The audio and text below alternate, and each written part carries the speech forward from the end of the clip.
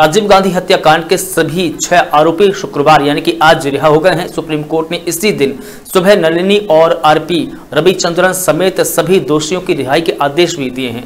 Court का आदेश आने के एक घंटे के बाद ही उम्र कैद की सजा काट रहे सभी दोषियों की रिहाई भी हो गई है। सुप्रीम कोर्ट ने 18 मई को इसी केस में दोषी पैरा रिबलन को रिहा करने के आदेश भी दिए थे। बाकी दोषियों ने भी उसी आदेश का हवाला देकर कोर्ट से रिहाई की मांग की थी।